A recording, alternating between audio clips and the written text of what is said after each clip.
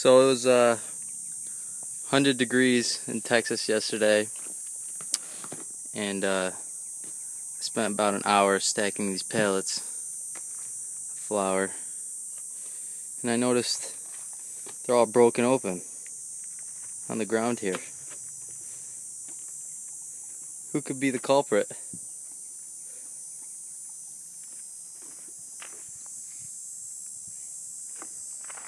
Was it you?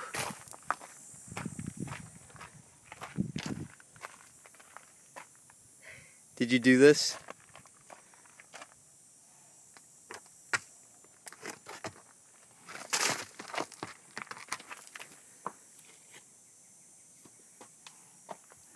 Are one of you two responsible for this?